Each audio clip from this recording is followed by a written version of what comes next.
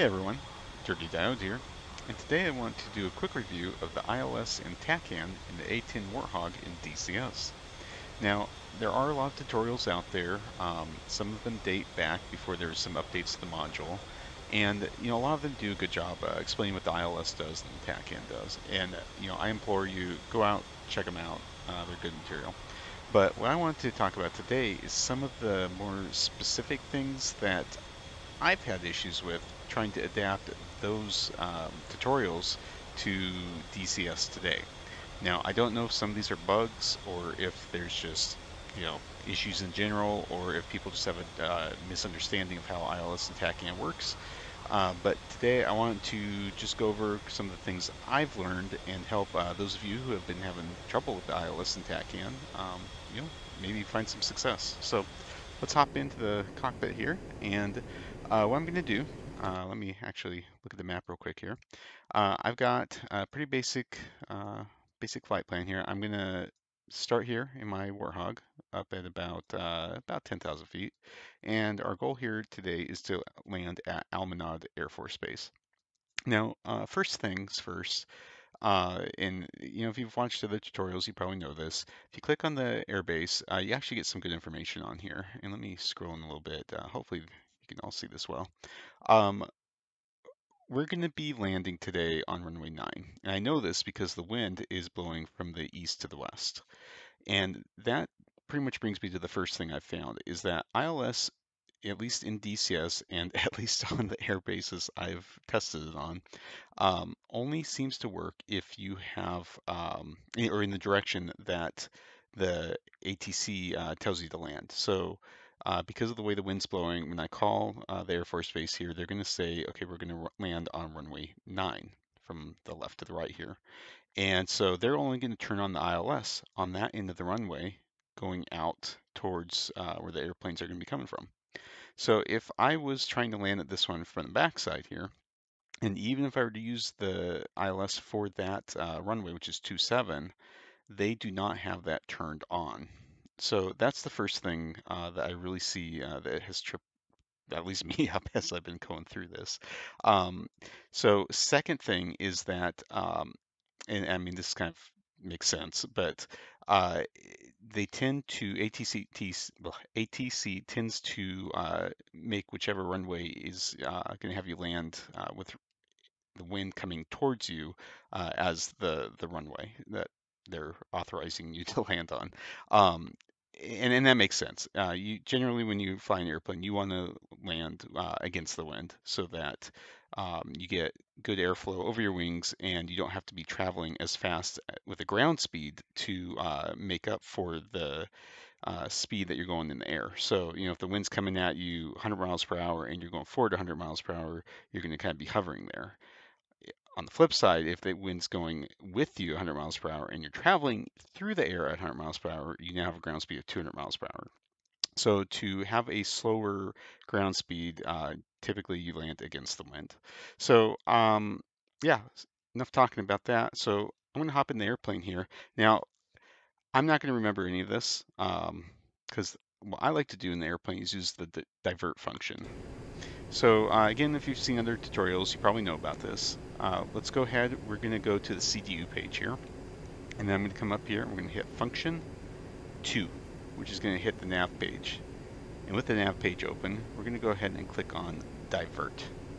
So now this has a list of the closest uh, airports that uh, we can land at, and I am going to click on this button for Al-Minhad Air Force Base. And there you go. So we're going to use this information. Now, let's say you don't know, you know, what way you're landing. And also, let me back up real quick. Um, one other thing to note here is that some Air Force bases do not have ILSs on both sides. Um, that's, uh, or not Air Force bases, but runways. Some runways don't. And let's see if we can find one. These ones look like they do. That one doesn't have any ILS. But uh, I know on the Caucasus map, oh, there's one. Uh, Quite a few of those don't, uh, but here this one, 19 has ILS, one does not. So that's another thing just to keep in mind uh, as you're choosing an airport. But coming back to Al-Minhad, that one does. So uh, when you use the divert function, you can see here, you kind of break these into columns here. You've got runway 27 with the ILS for that runway, and runway 9 with the ILS for that runway. So that's good information to have. We also have the TACAN code, and this just says 99, but I know from the other screen it's 99X.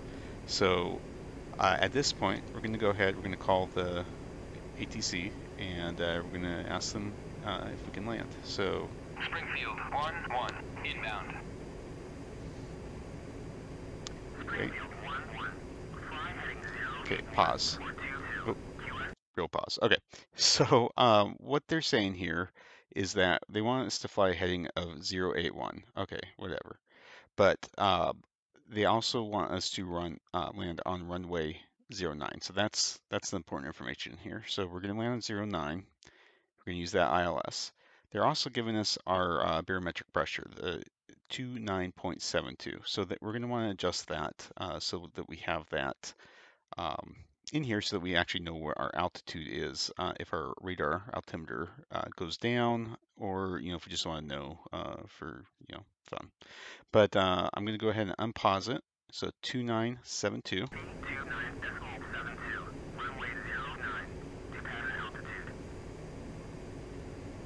Okay, and they also want us to fly heading of 081. So we don't have to do this part, but I'm going to do it anyways. 081.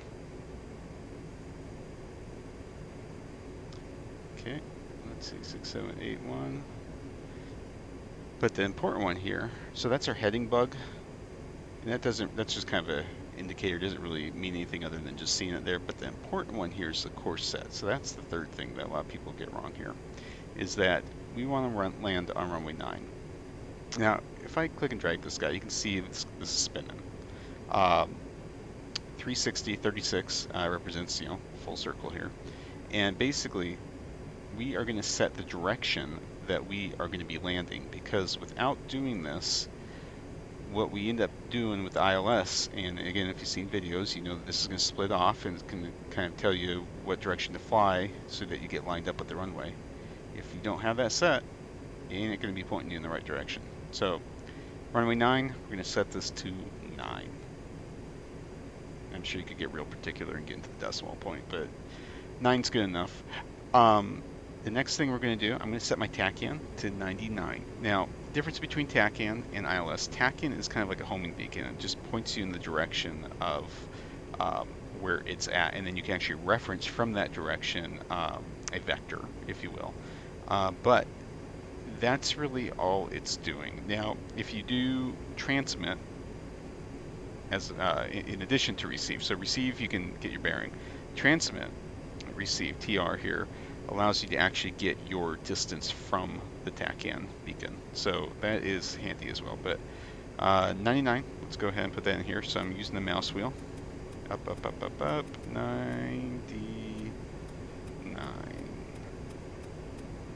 Okay, right click, right click for transmit receive.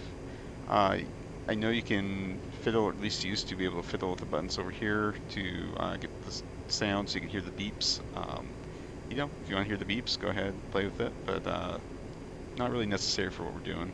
Um, but yeah, there you have it. TACAN is set up, and now we can, um, let's see here, transmit, receive, what have I done? Oh, TACAN's on. So we're not getting our miles yet on here, but I'm wondering, I'm not paused, but we will, uh, we'll see what's going on here as we, uh, as we continue here. Next thing we want to set up here is ILS. So again, runway 9, 110.7. So coming over here to the ILS, I'm going to 110. I'm scrolling up with my mouse wheel. And then down, down, down to 0.7. And then really important here, right click to turn on the power. So with the power on, you can actually now hit the ILS and you can see that we are actually already um, getting that getting that frequency coming to the airplane and it's telling us that we still need to fly straight forward to intercept the glide slope coming from the airport that's over here on our right. Uh, one other cool thing is when you do this divert function, it will actually set you uh, set your speed on the airport. So that's the guy. That's where we're flying to. And uh, if I look at the F10 map, you can actually see that if we were to fly in a straight line to get to this Air Force base, this airport, we would need to basically come up this way and come over to the right and then land. So uh, that's what's reflecting here. You gotta go forward and then eventually we'll get to this white line and it should all line up. Technically you want to turn before you get to the white line so you actually like end up you know right on the white line as you finish your turn but you know practice it's all good ain't gonna hurt anything if you go past it a little bit. So uh, let's see we got our course we've got these guys on uh, make sure you have your TACAN and ILS selected, otherwise nothing's to happen. Uh, if you're doing an ILS landing, you don't necessarily need your TACAN on. Um, you know, you, you, can if you want, but whatever. ILS is the one that you're really to want for this. So I'm going to go ahead, I'm going to unpause, and oh, and actually had miles. So now the TACAN is uh, doing something here. So I'm unpausing. I'm ready to fly. I'm sure you guys are tired of me talking. So we're going to come around. Now, right now, you can see this needle, and uh, the ILS basically, you want to fly towards the needles. Uh, but we're not quite on our glide slope yet. So we can pretty much just ignore what's going on up here and just wait until we actually get lined up over here. I'm sure there's some real pilot out there that's yelling at their computer screen listening to me on this, and I apologize, but again, this is just, you know, if you're having trouble with ILS and you're trying to get something to work so you can actually start practicing it, that's that's really my goal here. I want want you guys to be able to to get into this, play with it, and have fun doing it. So I'm going to pause again real quick. You can see the line is coming over, and that's telling me that we're about ready to be lined up on that vector that's going to take us straight in towards the runway. So I'm going to start turning, and we should be about onto it by the time I pull out this turn. Okay, so cool. We're lined up with the runway. Yay. Now, next thing we gotta do is get lined up with the ILS. So the ILS, it takes a little bit of time to uh, to really get dialed in, or not dialed in, to pick it up from the airport. Uh, it's not an infinite beam that comes shooting out from the thing. Uh, you do gotta get close. I've heard some sources say 10 miles. Uh, we're gonna see what it does for us today. Right now we're at about 30 miles. And as we come in, uh, the one thing I can say is that the glide slope is at a three degree um, de declination, decline. You're gonna go three degrees down uh, on the glide slope, that's your goal. And so if I'm looking at where the Air Force Base here is, we're you know a little past three degrees but not too bad. So I feel pretty confident that by the time the ILS uh, is strong enough that we can pick it up in the airplane here, we're going to be pretty much right on our glide path. So cool. I'm going to speed it up a little bit. We're going to get a little bit closer. And at some point, you're going to see this little red flag on the left here go away. Now one other little thing that does get people a little confused, and we're going to see it once we get closer here, is that the, here, perfect.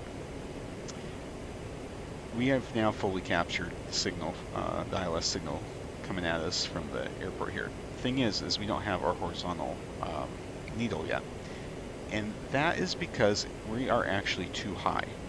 So see this little indicator right here? When that red flag went away, this uh, needle popped up. And this is telling us that we are too high. We want to chase this needle, or this indicator, just like we would the needle, as it uh, would appear here. And it's just basically saying that we are too far off for us to uh, see the needle yet. So, no worries. We're just going to start dropping down a bit. And uh, once we do, once we get to that negative 3 degrees, uh, we're going to see that needle pop up on the indicator there. So I'm just gonna dive down here because, you know, why not? um, speed up just a little bit. So we are pretty high. And there you go. You can see it coming up and bam, here comes the needle. Perfect.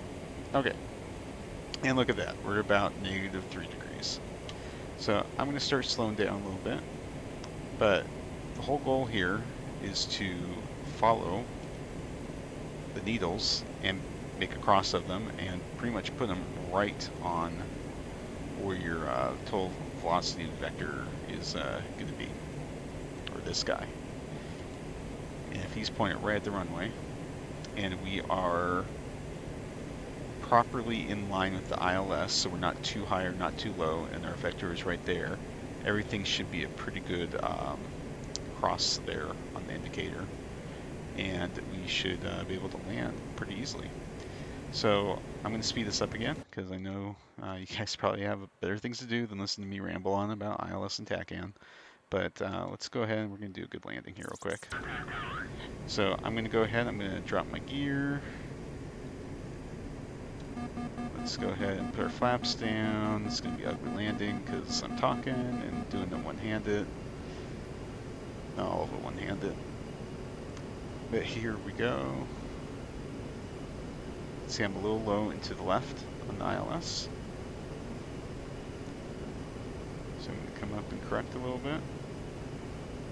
There we go. The vector is back towards the runway there. I'm going to pause it one more time here. Just to show you that if you have this setting wrong, or you forget to do it, you can see how much that messes with your needles there. So that's why it's important to make sure that you get that set. And that's something I know I was forgetting quite a few times as I was practic practicing this, uh, getting ready for the video.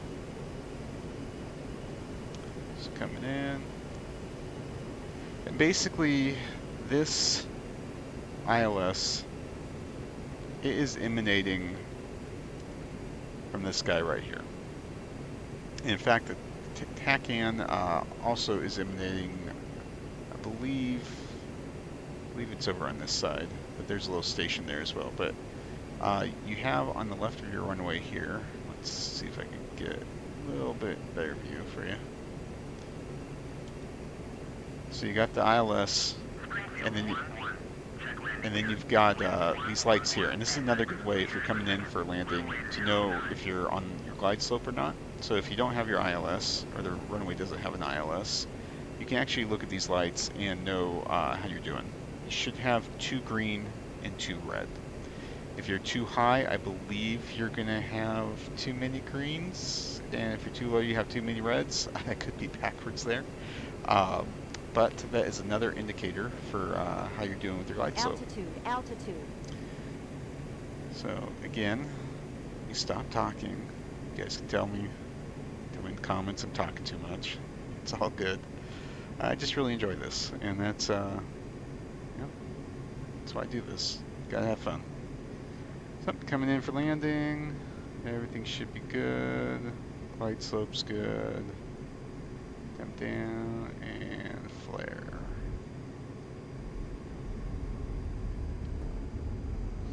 So there you have it. ILS landing. Uh, I will put up in the corner here, I've got a video. Uh, I was doing this uh, yesterday in inclement weather, uh, zero visibility, and uh, that was a hoot. Um, let me tell you, if you're looking for a challenge, uh, that is a good one. zero visibility, ILS, thunderstorms, just, yeah, all kinds of fun. But in any case, that brings us to the end of this video. Thank you for watching. If you have any questions or comments, please leave them in the comments. I hope that this uh, helps demystify the ILS a little bit. But, uh, you know, I implore you to go out, do research if you need to. Uh, that's how I learned it here. And, um, you know, have fun. If you're not having fun, you're doing something wrong. So take care, everyone. Have a good day. And Dirty Diode signing out.